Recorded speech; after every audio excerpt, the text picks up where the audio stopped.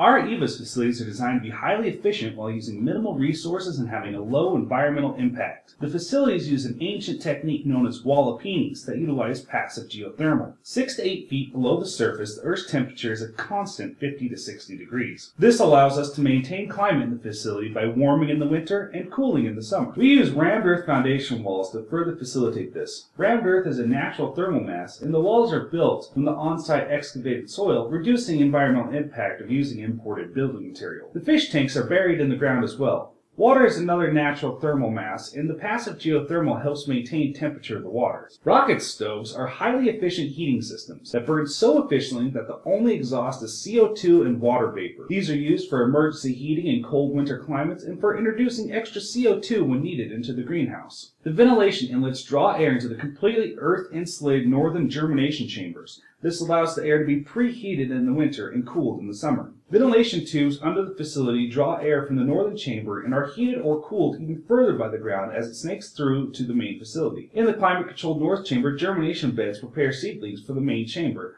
Livestock feed is also grown in high production vertical systems. All the pieces fit together to make the ultimate high production sustainable farms.